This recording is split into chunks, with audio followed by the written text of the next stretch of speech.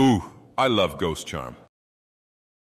What's up guys, it's me, Ghost, your host as always, and today I want to welcome you to a video that is sure to be completely and utterly different from pretty much everything ever uploaded to this channel, period. Because today, for the very first time, there is absolutely no script, and really no concrete plan either. I mean, I'm in my underwear, the window's open, I'm using my backup microphone, I'm not concerned with audio quality and the typical polish of a normal upload. I want to very organically and honestly sit down and talk with you guys about these initial 19 villains that we have covered in the Villainpedia series on this channel. Because believe it or not, boy, we are quickly approaching the three year anniversary of the very first upload of any Villainpedia entry in the history of Earth, my video on Dagoth Ur. And man, that is just crazy. Time flies, and it's so cool to see how that video and then this series really took my channel from nothing, just a little hobby, all the way to what it is now, approaching 200,000 subscribers. And I mean, you guys are the best fans like on the internet. You're so loyal, you're so kind to me and to each other. Just a wonderful community, man. I can't say enough positive things about you all, so thank you. But to be honest, after the most recent Villainpedia entry on Frank Horrigan, I kind of felt like season one, if you will, of the Villainpedia was complete. Now, I know that there's tons of big scale villains I've mentioned and wanted to make videos on that haven't been covered yet, but these first 19, for whatever reason, I was really excited about. These are the ones that jumped into my brain based on what I was playing at the time and the things I was passionate about in regards to storytelling and video games at large. And now it feels like an opportunity to kind of reset and enter a new frontier, replay some games, play some new games, you know, get to know some of these iconic villains that I'm not as familiar with. And what better way to do that than to take a healthy look back at the original 19 and try to sort them in one of my favorite things on the internet, a classic tier list, baby. Now, maybe you don't like tier lists, maybe you don't like videos like this. That's fine, man. Don't worry. We're going to resume the normal types of content on this channel right after this but I just really wanted to sit down and do this with you guys. And it also gives me an opportunity to break down that sort of theatrical barrier between me, the videos, and you guys, the audience watching at home. To just kind of hear me candidly talk and hang out. So without further ado, let's get this cookie crumbling, man. So the criteria for my rankings is pretty straightforward and also maybe like a little nebulous. So I don't care to rank them based on objective evil. That's kind of boring. That's not the point. Now, if you've watched the videos, you would know that what interests me the most is which makes for the best video game villain specifically which is a whole lot of stuff, right? It's interactivity, it's the boss fight, if there is one. There's like, how badly do you want to get through the game to get to that person and conquer them in whatever way? What's the scale of their evil? How's the backstory? Are they a sympathetic villain, a tragic villain? It's all personal preference too. So I'm going to put the link for this tier maker down below and you can tell me I'm wrong. You can make your own, whatever you want to do, man. whatever you want to do, okay? First off, in alphabetical order, these are listed in alphabetical order is Alduin from Skyrim. Now, if you've seen the video, you would already know, man, this is not my favorite villain, okay? In fact, I think he's a little stinky. So I'm going to put him in D. Now, I might move these around quite a bit as we populate the little tiers, but initially I'm thinking D. Now, Skyrim is one of the biggest, maybe the biggest video game ever. I mean, everyone knows what it is, right? Next to like Mario Brothers. And it's this RPG with the rich world of Tamriel and all this incredible lore and all these like gods and Daedra and all this shit. And it's so smelly to me that he is the main antagonist of like the vanilla game because I don't know. And again, I say this in the video. There's so much interesting stuff surrounding him. The influence for the character with all this like Eastern mythology and the Kalpa ending and him being the world eating serpent and how that ties in with like Norse mythology. There's so much potential there and all you really get is like an evil it's like smaug. He's so base in his villainy that you don't get the interesting stuff that is behind the character in game. And i think most people all that other stuff kind of flies right past them because it's just not depicted to the player. Um, i think he looks stupid. I think his voice is stupid. And i think given the villains of Elder Scrolls past, I mean, Mankar Camoran, Dagoth Ur, uh, even like the minor antagonists that are within Skyrim, he's just boring. And I, I said this in the video as well, but I think if he was made to be more of like a primal, neutral evil, of like, he doesn't even notice any human activity or doesn't really care about the Dragonborn, he's just like, well, it's time. I gotta end the world now. Time to eat it. it would be a lot cooler. Also, he's too small, dude. Like in game, he he's the same size as all the other dragons. I feel like he should take up the entire sky and be like, you know, Armageddon. Like this is Alduin. This is the world eater. It's the end of the world. Overall, man, I think Alduin is just a massive disappointment for me personally because he could have been so cool and he had pretty big legacy to live up to with the previous villains in the series, but not the best. I'm putting him in D.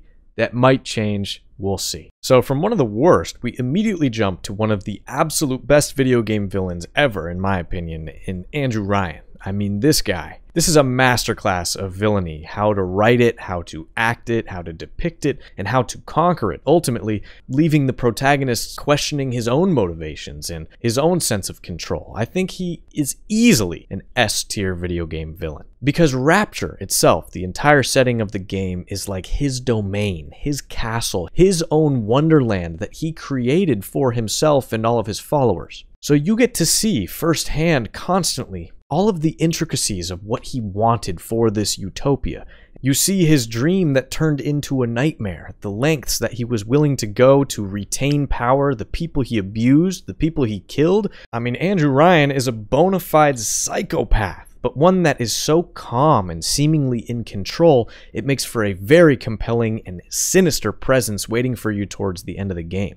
Then you have just the iconic interaction with him, the way he talks to you. A man chooses, a slave obeys. Bro, get the hell out of here. This guy is S tier, and I ain't having nothing else about it. But additionally, his backstory that's really informed by Ayn Rand, the writer of The Fountainhead and Atlas Shrugged, and her real life coming from Russia to the United States, and how Andrew Ryan went from this upstart businessman to this hardened capitalist that was willing to take everything down to the ocean floor. It's just absurd, but it works so well, man. It's so believable, it's so American. He's such a dick. I love Andrew Ryan. S tier, baby. S tier. So while we're on the topic of excellent S-tier video game villains, why not next talk about Daddy Dagoth Ur, er, the villain that started it all on this channel, and easily, in my opinion, the best Elder Scrolls villain ever. That's another easy S-tier for me. Dagoth Ur er benefits from some of the coolest lore in the history of video games, man. I mean, Michael Kirkbride, who wrote a bunch of the stuff for Morrowind, that dude was on some crazy ass drugs, and that's verifiably true. But I think something that a lot of villains could benefit from in video games is interpretive lore, and that's something Morrowind is full of. So with Dagoth's backstory, there's all these different accounts of what happened, who was in the wrong, who was in the right, and how he kind of tumbled into being this forgotten, insane god inside of a volcano. He also has a history going back millennia, connections to Nerevar, all of the members of the Tribunal. I mean, this dude is representative of all of the history of one of the oldest regions of Tamriel, period, and to see that all in one character who is villainous and trying to build this like organic golem and spread corprus and dominate all of Morrowind. It's just, it's so fascinating. It's so psychedelic and odd, and he's so charming. He's so cool with his mask. Then the fact that your player character is the Nerevarine and thus the reincarnation of his once friend Nerevar makes this encounter have sort of like a somber undertone to it, where he sees his old friend and he's welcoming him back again, but you're there to kill him and end his plans. My only real gripe here is that there's no way to join up with Dagoth if you find him charming and kinda hate the Tribunal, because the more you play Morrowind, the more you realize those three characters are pretty devious bastards themselves, and it would be so fun to be able to join the Sixth House and have this sort of optional endgame where you topple them. But ultimately, this dude is just so absurdly iconic. I mean, Dagoth Wave, the Young Scrolls song, all the AI memes of the last like six months. He is Morrowind for so many people, and I am one of them. Incredible video game villain. And I'm sorry to say, it seems the Elder Scrolls big bad guys has been downhill since Dagoth. So next we have Dark Link. Now this one is fascinating, a very difficult character to kind of pin down and an even more difficult villain to kind of pin down. I mean, in the video we talked about how he's really not even a character, right? He's just representative of the darkness within Link, within the hero, which is very sick and it, it's a great backbone for a villainous presence, but I wouldn't say it's the strongest foundation for a villain because a villain, I mean, I want to see like a plot, a scheme, a fascinating backstory toward evil, like all these things that justify their position as a villain and as an antagonist where Dark Link has really kind of always been this side thing. It's never he's never the main bad guy who's trying to take over the world or something. That's Ganon's territory. So I think I want to put him in C, but he is super iconic and the the fight in Ocarina of Time especially is like that's the thing I think a lot of people think of when they remember that game, maybe over the final Ganon fight even but still, I mean, as a villain, he's just not quite there. I might even drop him down to D. I'll keep him I'll keep Alduin ahead of him because Alduin is the main villain of a game with a bunch of backstory, but I just think Dark Link as a video game villain kind of falls short. But that doesn't mean he isn't cool and he isn't like a big part of those games and the mythos of those games. It just feels like he's more a part of Link, Link's journey, Link's world, Link's life than anything that stands on his own. So I gotta drop him down a little bit for that. So next up, it is Frank the Tank Horrigan from the most recent Villainpedia episode, famous from Fallout 2, one of the hardest endgame bosses in all of Fallout. I love this guy, man. I think he is so sick. Love his backstory, love presence, love his voice. Everything is so strong. However, I don't think he's the best villain because at the end of the day, as we covered in that video, the Enclave and the President and all the brains behind what they are doing in that game as far as antagonism and the things that you have to stop, Frank is just like the Frankenstein monster of that. I mean, he's no mastermind of anything. I don't think the President's like, hey, Frank, what do you think? Uh, dude is just there to follow orders and crush people. this is tough. I think I'm going to put him in C, but the fight at the end and just how like feared he is in the lore of the wasteland and then the legacy he leaves after i'm actually going to toss him up to b. Maybe we'll move him down. Probably not. I think b is fair. I really like frank horrigan. I think the backstory is underrated and yeah he just follows orders and he's kind of a thrall but he is one of one when it comes to Fallout lore, and I think you gotta give him that. Not to mention, Frank is like really fucking evil. I mean, it's pretty terrifying to have this Hulk, essentially, who will do anything he's told. I bet if they asked him to crush his mom's skull, he'd be like, okay, for the Enclave, USA, baby. Like, he doesn't give a fuck. And that is a huge part of his presence, which I think is absurdly villainous. So next we have GLaDOS, who honestly I might say is the best villain I have ever made a video on, period. It's also my longest video. It's like an hour and 20 minutes or some shit. It's very long. But GLaDOS, I would say, is narratively and gameplay wise perfect. So easy, easy S tier. As easy as the others too, if not easier. And I'm even gonna slide her all the way to the front. My favorite villain, I think, ever is GLaDOS as of right now. Maybe there's maybe I'm tripping and I'm just saying that, but she is so goddamn funny. I mean, the writing and the voice acting performance behind this character spectacular. One of my favorite lines in the entire game is, "Look, we both said a lot of things that you're going to regret." And that is just like the perfect little representation of how snarky, how kind of petty she is, but also how in control and sinister and evil as well. But I think the real shining star here with GLaDOS is the backstory. This woman who was an assistant to this egomaniacal scientific businessman being shoved into a computer and thus losing her humanity, being forced to test and test and test really until the computer shuts off. You feel for GLaDOS as much as you hate her and want to get out of that cycle. I think it's genius and it's such an excellent way to kind of make you think like, Jesus, what am I doing? Every video game is essentially this. I'm just a little rat in the maze completing little tasks and then it's over, and I get a slice of cake, let's say. So GLaDOS directly comments on that entire structure. Definitely an all-time great video game character, and in my opinion, one of the best villains in any form of media ever that I've ever encountered. So now we are looking at Jack of Blades from Fable 1. Now, this guy is a classic dude and definitely has like a very soft little spot in my heart where he lives forever. But I want to try to separate that.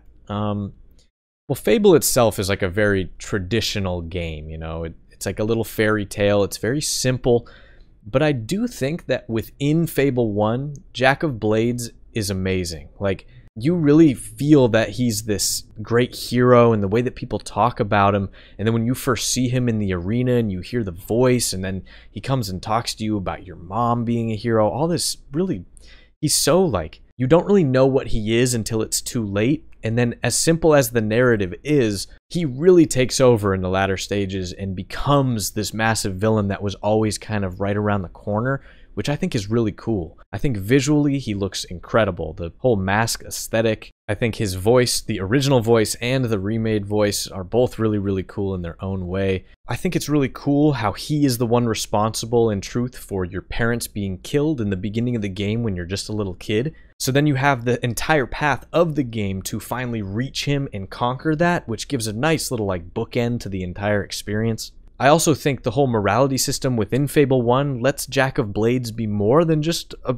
kind of villain, which is what he is, because you get to choose if you want to be a more hero or a more villain type character as the protagonist. So if you're the villain, you kind of feel like you're claiming Jack's role and becoming the new monster, and if you're a hero, it feels like you're conquering him and moving on, which, I don't know, it gives him a malleability and another little interesting kind of element there that I really appreciate, especially in Fable. I'm a big fan of the series. So I think I am going to place Jack of Blades in A. I think for what he is asked to do in Fable 1, he does it perfectly. There's been two other games since then, but, well, other ones too, but we don't talk about those, dude. But I think from the main three Fable games, he's definitely the most iconic villain. The one that everyone would want to see make some sort of comeback in the new Fable. I don't know about that, but I think for anyone studying like basic storytelling, and especially in this kind of setting in a video game where it's interactive, Jack of Blades is a wonderful little role model. I mean, he's very simple, but he fulfills his role to a T.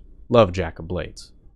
So that brings us now to Knight Lautrec from Dark Souls 1, which is very interesting. So we've talked about in all the Souls videos how morality in general is really hard to pin on characters in that series, and really in From Software games at large. Things are often left so purposely ambiguous, and you don't really even know if you're in the right by killing all these ancient gods and resetting the world and all that kind of jazz.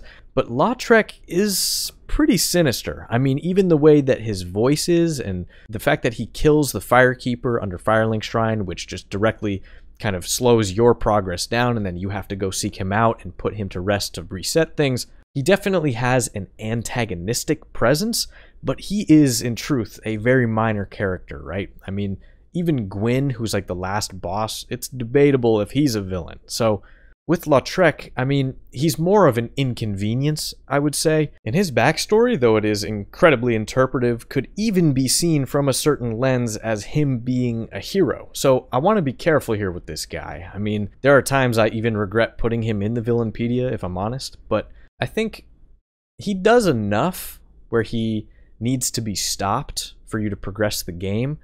And he is kind of like fucking around. He's a deviant, you know? Um, and in my initial video, I called him a snake in a Gucci slide, which I just think is funny because he looks so swagged out in the armor.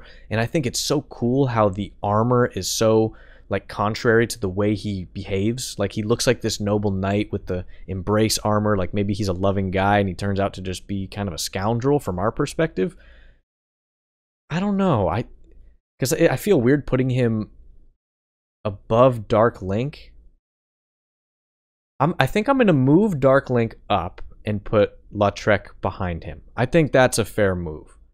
Um, Lautrec is just so unique, and I think the voice acting is really nice. It drips with evil, but he just doesn't do enough to really be considered a true villain, like a main villain. And I'm going to keep him above Alduin because of the just sheer disappointment of Alduin. I mean, that's a whole other beast together. But yeah, I think Lautrec C behind Dark Link, that feels good. I, I can sleep with a smile on my face.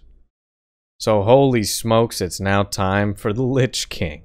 Uh, what a character, right? I mean, when it comes to video game villains, I would say Arthas, out of all of these guys, might be the most well-known, just in popular culture, like the average boob on the street. Eh, maybe Wario and Waluigi, actually, but the Lich King is almost bigger than Warcraft, which is crazy, because Warcraft is so big. I mean, the story began so long ago with Warcraft 3 and Arthas's fall to becoming the Lich King. I mean, it's just fucking epic, dude. It's kind of like Anakin Darth Vader, but I kind of think it might even be better. It's the Lich King. I mean, this is, I guess, combined the Arthas video and the Lich King video. I think I made almost two hours of content there for that character alone. There's so much incredible backstory. These little things that happen that lead Arthas down that dark path and then once he's on that dark path, it just continues to get worse. But add in that there's all this crazy shit with Ner'zhul, who's like this ancient orc who really is the Lich King, and he's trapped in the sword and then the helmet.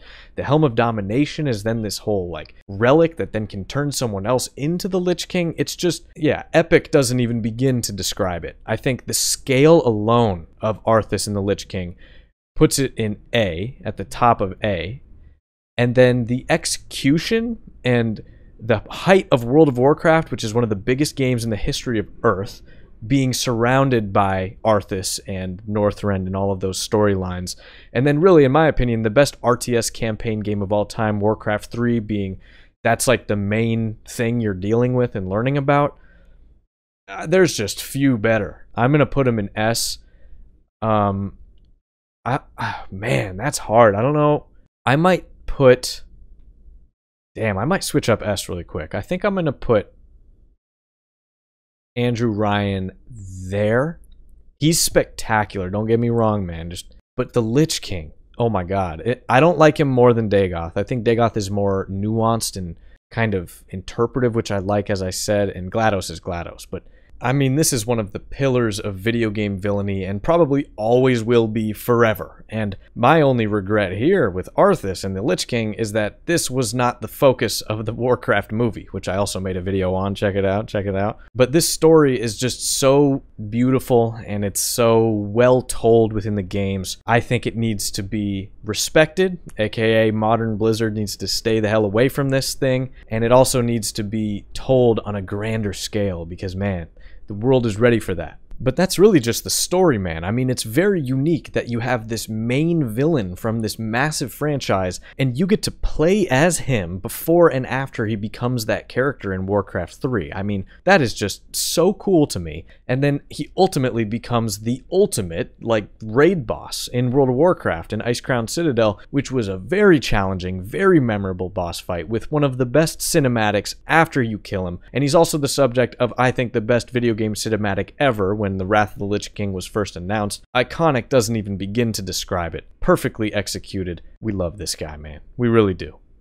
That brings us now to, in my opinion, one of the most underrated video game villains ever in Mankar Camoran, who is kind of like the secondary antagonist from the Elder Scrolls 4 Oblivion, which just so happens to be my favorite game in the Elder Scrolls series. So I'm going to go ahead and just kind of slap him in A, and I'm even going to place him above Jack of Blades. Because Mankar Camoran is like a very familiar villainous archetype. He's an ancient elven wizard, he's a cult leader. I mean, we've seen others like him in the past in other big games, but I think the way a character like that functions within the Elder Scrolls universe with the Daedra being these like kind of weird, twisted demon-like gods and Mehrunes Dagon being the focus of this cult that Mankar Camoran starts and then ultimately he comes into the world and starts crushing everything regardless of what you do during the quest. There's something very appealing to me about him, about his little British accent. Terence Stamp is the actor who plays him, and it's just, he's such a prick, man. You cannot wait to crush this fool's skull. I especially love when you go to Paradise, which is like a little slice of oblivion that Mankar Camoran is gifted,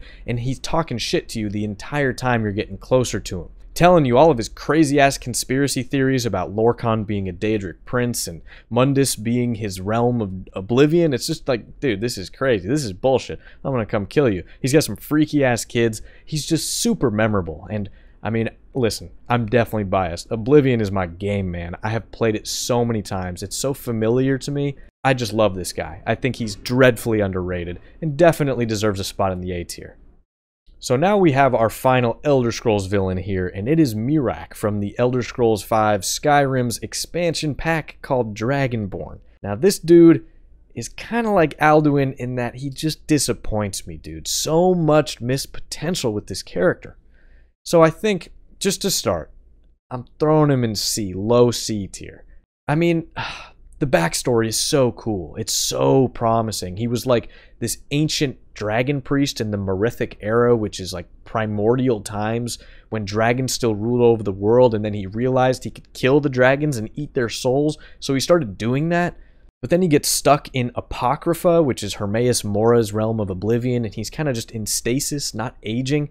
And then when we come along, he's starting to get his way out of Apocrypha into the real world, and he wants power back. I mean, he really is the first Dragonborn, and we are kind of the last Dragonborn, and there is so much potential there narratively for you two having to like work together slash against each other to kill Alduin if he was part of the main storyline. But instead, it feels like this tacked on little side quest with this character who should be way more significant than he is, especially when it comes to being a villain. He just doesn't really feel like a villain. He kind of just feels like a bitter dick who's like like still rocking the shoes from the 80s and thinks he's hot shit. It's like, bro, times have moved on without you, homie. Like, I don't need you. So you just like whoop his ass and then go back out into the normal world with all of his armor. It just feels like, why did that even happen? And it should have been part of the main quest. It's just, yeah, Miraak is so bizarre. I wish I liked him more, but I kind of just don't. Now, I gotta say, putting patches in the Villainpedia might be my biggest regret on this channel to date, because as time went on and I kind of hammered out what the series was about and made the NPCpedia, I realized that he's more of an NPC than he is a villain, even though he does shit to mess with you in all of the Souls games, and even beyond the Souls games. We all know Patches is in Elden Ring now. But that doesn't mean he isn't an antagonist. His whole shtick of tricking you into going to look for treasure, kicking you into holes, trapping you in dangerous places, the dude is trying to kill you while you're attempting to progress through some of the hardest games ever made, right? But I think when you look at the full scope and scale of his implementation into all these games, he's more of like a neutral, like chaotic presence, where all he's trying to do is survive from his perspective. He isn't specifically looking to fuck over you, I guess he's just trying to fuck over whoever's there. So I think as a villain, man, he's effective, right? Like, you definitely, every time you see him, you're like, ah, here we go. But I don't think he's just not really a villain, man.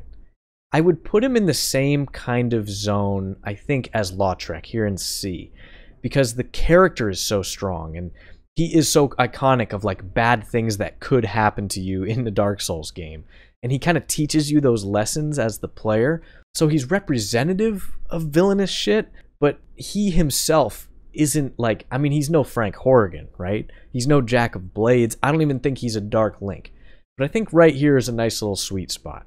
He's just a little goblin of a man who's trying to get by, and we all love him, but you also love to hate him. So maybe he's a villain after all. I don't know. I'm always thinking about this kind of stuff. So let me know what you think down below. Is Patches really a villain? Would you put him higher or lower? I don't know. okay, next is Skull Kid from Majora's Mask, which I also think is a fascinating one, man. Hmm. I mean, I think just the presence and appearance alone, you know, the little laugh, the childlike trickster energy, he's very much like a jester, which you all know I like. All of that already puts him in B. I mean, he is insanely memorable. Majora's Mask, just like the iconography of that, might even put him instantly above Frank, and then I think once you look into the backstory and the kind of tragedy of Skull Kid and him just being this little forest nymph dude who got this mask put on him, it's it's so like dark for a game like that. It's so bizarre. And the fact that he's pulling the moon to come destroy the world and how that affects the game mechanics. I mean, talk about a villain and the unique aspects of that villain dictating the entire game's design and the way that you play it. I think he's A. I really do. I think Skull Kid, man, I, I would even put him above Jack. I think Skull Kid is absolutely fantastic. And one of my favorite things about him is that they never brought dude back, right? I mean, he was so popular and that game was so popular, they could have milked that shit and like brought Skull Kid in like a little dungeon in Twilight Princess or something and just, you know, but they never did. They really left that alone. And I think that makes it even more strange and kind of dark and this like one off thing that's stuck in the N64 graphical style. But yeah, easily, easily my favorite Zelda villain and probably my favorite Nintendo villain, I think. I mean, I can't think of someone with a more unique and impactful appearance like Skull Kid. So now we have our first kind of purely goofy villain, and that is the devil from Cuphead. I think this was the second Villainpedia ever. It's like five minutes long. It's not the best, but I really love the game Cuphead, and I think the devil acts as like a really fun antagonist that's super simple. He's such a scoundrel, smoking cigars, stealing souls, gambling and shit.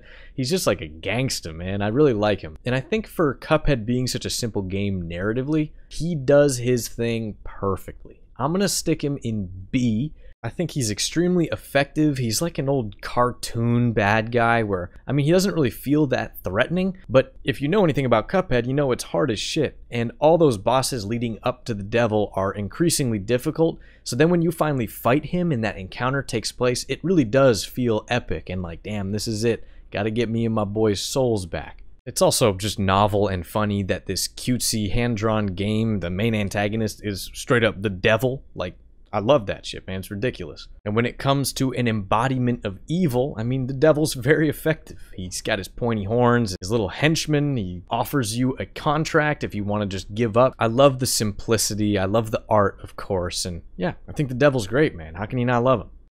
Okay, next up we have a big one, and that is the Master from Fallout 1. This is the most watched Villainpedia episode by far with over a million and a half views. And dude, he is fantastic. Easily S tier. I mean, in this category with these Titans, no doubt about it. The writing, the voice, the appearance, plan to make everyone into mutants so that people don't fight with each other, absolutely alarmingly good and very convincing as a villain. Like, once you hear his plan, you're kind of like, shit, yeah, that would solve a lot of the Wasteland's problems. I also think Homie has an incredible backstory. I mean, this doctor, like, tragically falling into this big vat of goo and then slowly and painfully mutating into this thing that's like a computer man flesh ball it's so science fiction. It's so Fallout, and it's so like horrifying but intriguing. I will say though, I think the speech option, which is legendary at this point, that you can kind of tell him his plan is flawed and then he blows himself up, is a little silly because, well, it's about his super mutants being sterile, which is something that he probably could have fixed with more science and more experiments, but he just kind of cops out. And that is the only thing I think keeps him behind these other villains who many of them see their plans through to the end or close, or they're so far down another path. But the Master, absolutely S tier. I think definitely the best Fallout antagonist ever, never will be surpassed. And if Fallout wants to kind of retrieve some of that core Fallout feel from the older games, they need to start with their villains, bro, because it's crazy how it's only been downhill from Fallout 1. Go back to the blueprint of the Master this is what it's all about.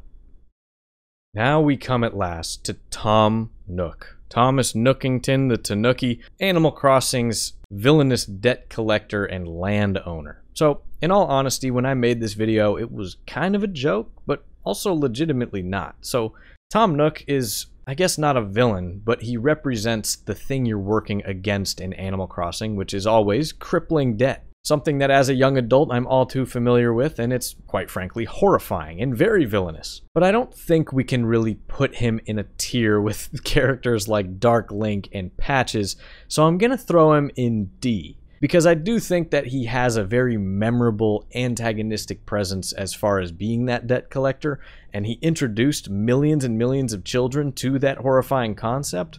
But he's also kind of trying to help you out, and he's just playing by the rules, man. He's just trying to make a buck. What are you going to be mad at him for? You're doing the same shit on your little island or whatever. I think this is a classic example of great character, but not the best villain, right? I mean, everyone knows and loves this guy, but he's not up there with the big guns. It's just a fact.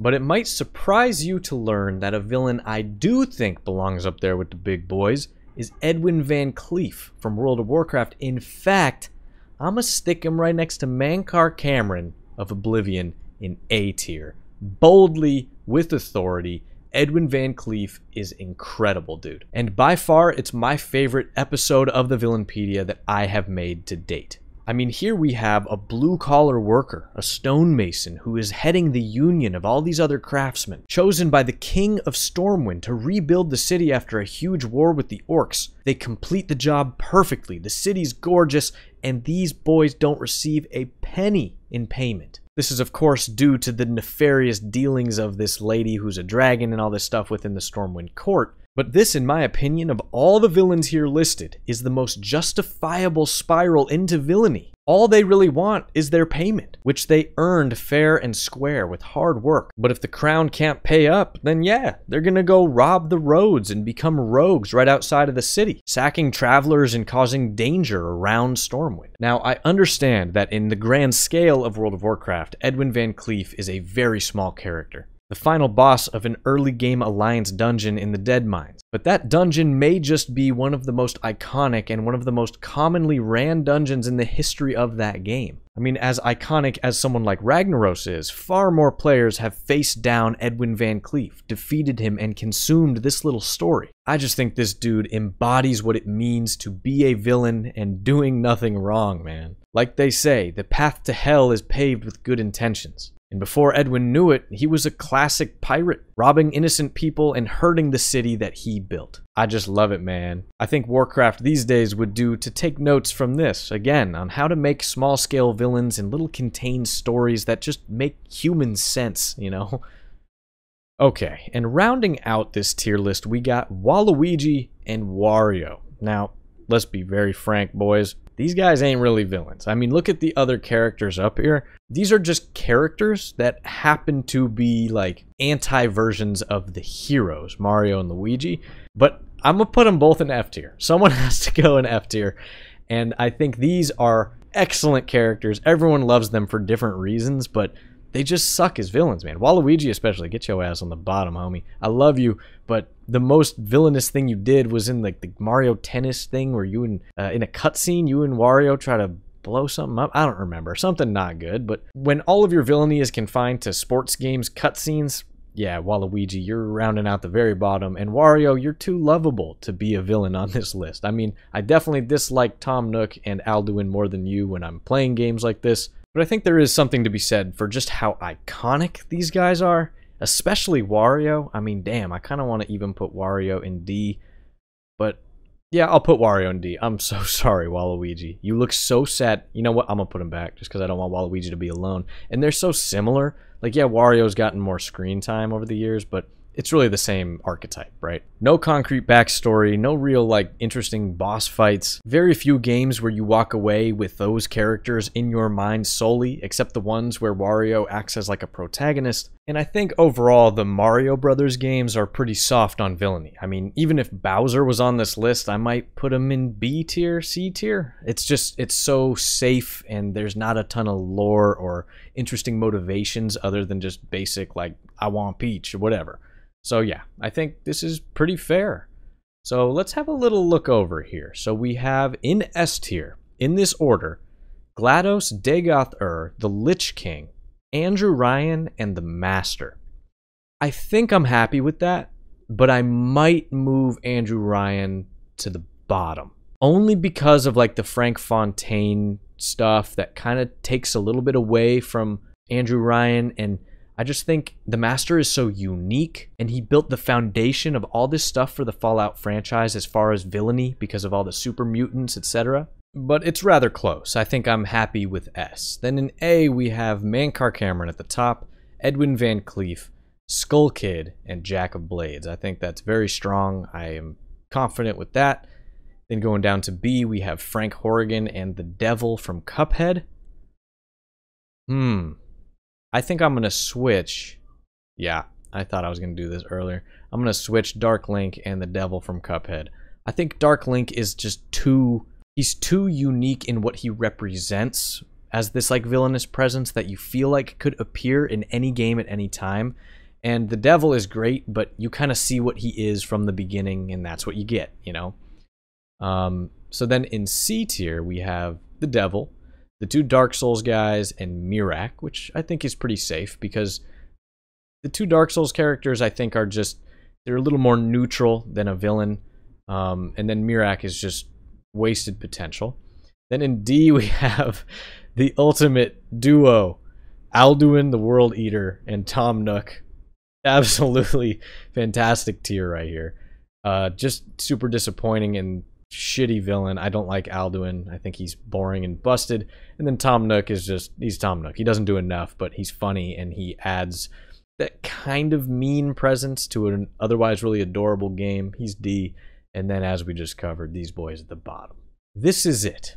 Okay? This is the definitive government issued tier list of the Villainpedia Season 1 from the man himself, Ghostcharm. So you know what I want you to do now is I want you to get in the comments. I want you to go click that link and I want you to fill out one for yourself. You can tweet it at me, you can just write down in the comments instead of filling it out if you want. I want your opinion on these characters, how they stack up against each other. I also want to know what you think the best video in this series has been, what was the weakest video, and most importantly, what is the number one Villainpedia video you want to see come season 2? I gotta be honest, this was a very strange video to make because it's usually so much research and labor going into each upload, but it was also kind of relaxing to just sit here in my house and talk. I think I'm starting to see why so many YouTubers kind of just do that. But uh, anyway, thank you so much, everybody, for hanging out, just keeping this on. Even if you just skip to the end to see the final rankings, what's up? How are you? I hope you had a nice little day. I have a couple big scale projects on highly requested characters in the works that I think you guys are going to absolutely lose your minds at. And I gotta say, it is an absolute privilege, honor, and joy to do this as a job, to entertain you guys with these videos, my opinion. I love the editing, I love the process of writing these things for you. And again, I cannot thank you enough for being such a positive community. I have been around on the internet since I was a little kid, and I know how rare that is. So thank you, every single one of you. The next time you hear from me, it will be in a normal video with the higher quality and all the bells and whistles you guys have come to expect. But thank you for coming along on this little fun adventure with me. And until next time, peace.